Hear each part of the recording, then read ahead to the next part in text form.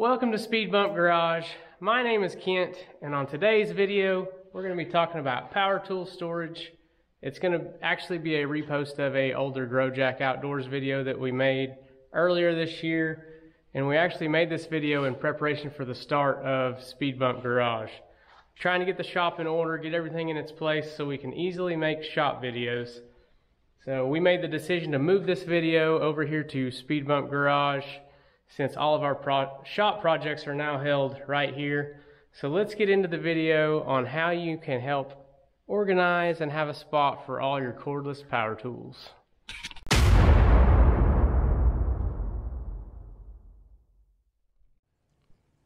So here's the plan, and I've already kind of started to make sure it was going to work, but I bought this five shelf Hyper Tough shelf at Walmart, which I actually found it on Amazon also for the same price. So I'll put the Amazon link in the description of this video. But we've got that shelf and some 3 inch PVC and a whole bunch of cordless tools. I've already kind of started. I've got the shelf put together. This shelf is a 16 by 36 by 72. The PVCs are cut to 15 inches and what I did was I drilled a hole there with a hole saw and then slaughtered them. I've hooked that to the shelf and now you can put your cordless tool in there just like that. You can put a few on each one. So I, I think the top shelf here will have four runs on it and then I may do one more. But something else is it won't hold just drills. I've got this skill saw. Let's see if I can do this one-handed.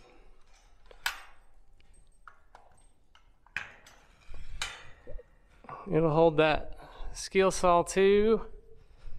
And little multi-tool, and I don't know if you have one of these, but if you don't, you should get one. It'll hold that too. I think that's going to be the perfect solution to our power tool mess that we usually have in our shop. So I'm going to set you guys up and we're going to work on making the rest of these runners and we'll get them put on the shelf. One of the things I forgot to mention was the hole saw I'm using is a, it's a two inch hole saw and I just drilled it in the top of that and then cut down it with a jigsaw.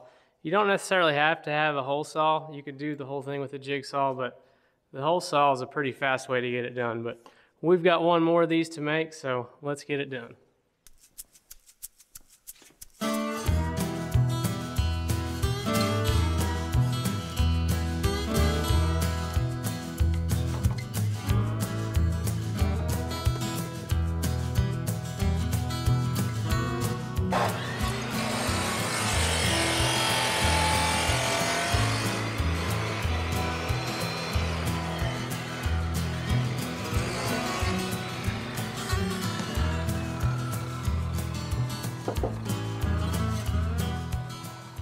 Now that I got my 15 inch piece of three inch PVC, I'm gonna measure inch and 5 eighths.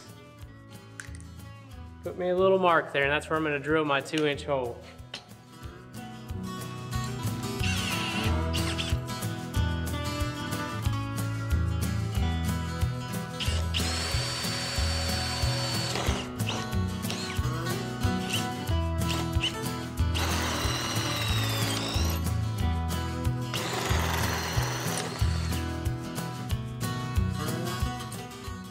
That gives us a nice 5 8 stop there to where, where the tools won't push all the way through it. So now we need to get some marks on there and we'll take a jigsaw and we'll cut this all the way through.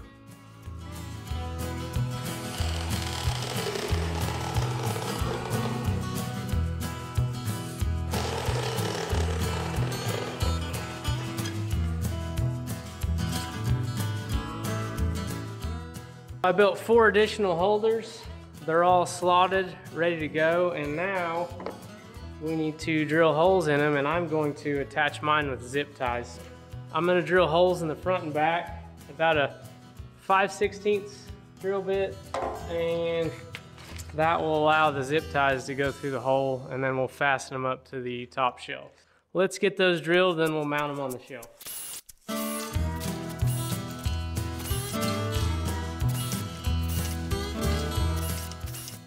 Okay, I got everything drilled and slotted, and now we're gonna get them all attached to the shelf. So I, I, you can see I've already attached this one with the zip ties, but I'm gonna put one on every runner of this top shelf. So there's gonna be four there, and I think I'll put one right here too, because I, I made five.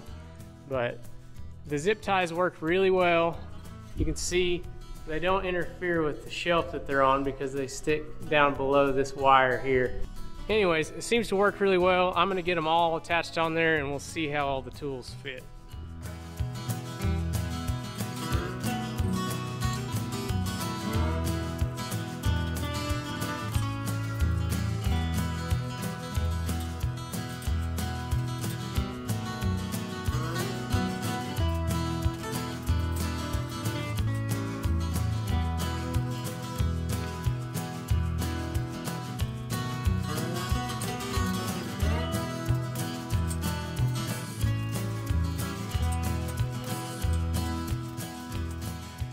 Here it is, all finished up. Everything fit really good. All the tools are on there.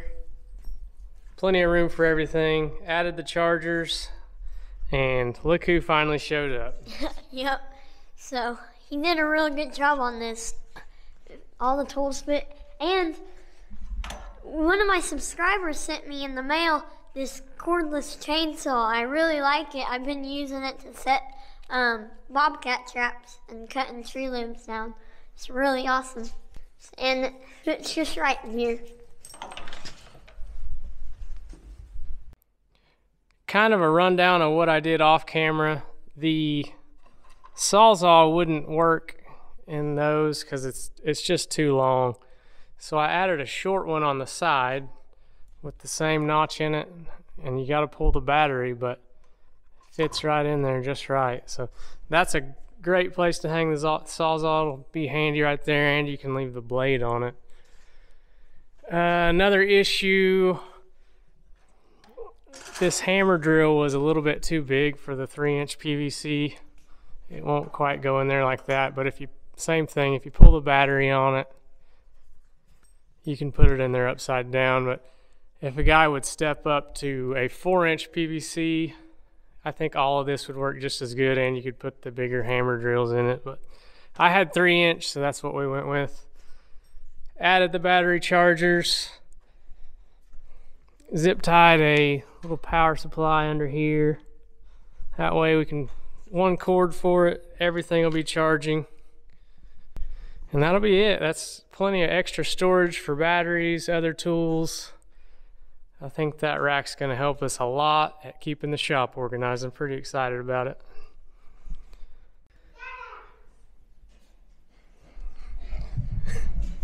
Look! We put lights on! What? Mom's mama hammer! Ooh. That's nice. Yeah, we we show. What else you got there? I guess I'll show you guys.